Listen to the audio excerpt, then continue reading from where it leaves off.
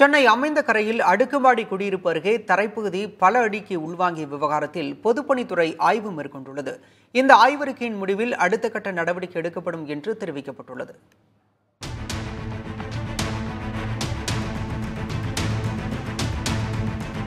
Chennai Aminjikarai Nelson மாணிக்கம் சாலையில் உள்ள தனியார் அடுக்குமாடி குடியிருப்பில் இருநூற்றுக்கும் அதிக குடும்பங்கள் வசித்து வருகின்றன.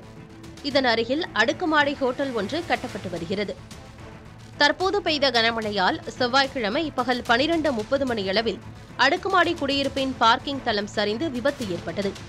மேலும் நூற்று ஐம்பது மீட்டர் நீளத்திற்கு தரைப்பகுதி எந்த நேரமும் சரியும் வகையில் பெரும் விரிசல் ஏற்பட்டுள்ளது. இதனால் குடியிருப்பு வாசிகளுக்கும் ஹோட்டல் கட்டுமான நிறுவனத்திற்கும் வாக்குவாதம் ஏற்பட்டது. சம்பவ இடத்திற்கு வந்த திமுக எம்பி தயாநிதி மாறன் மற்றும் காவல்துறையினர் கட்டுமான பணிகளை உடனடியாக நிறுத்த கோரினர். பேச்சுவார்த்தைக்கு பிறகு முதற்கட்டமாக இடிந்த பகுதிகளை அப்புறப்படுத்திவிட்டு அதில் கான்கிரீட் தளம் அமைத்து வருவதாக கட்டுமான நிர்வாகத்தினர் தெரிவித்தனர். தரைப்பகுதி உள்வாங்கிய இடத்தில் ஹோட்டல் நிர்வாகத்தினர் சிமெண்ட் கான்கிரீட் கொண்டு தடுப்பு சுவர் எழுப்பி வரும் பணியை மேற்கொண்டு வருகின்றனர்.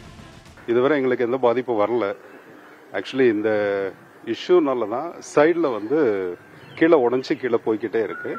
அது ஓகே ஆச்சுன்னா ஓகே தான். இன்னைக்கு வர கோஆப்ரேட் பண்ணிட்டு இருக்கிறாங்க நல்ல விதமாக நாங்கள் சொல்றதெல்லாம் அவங்களும் கேட்டு எல்லாம் பண்ணிட்டு இருக்கிறாங்க நேத்தெல்லாம் ஆக்சுவலி த்ரூ அவுட் நைட்டு எல்லாமே கூட இருந்து ஒர்க் பண்ணிட்டு இருக்கிறாங்க அதில் குறை சொல்ல முடியாது.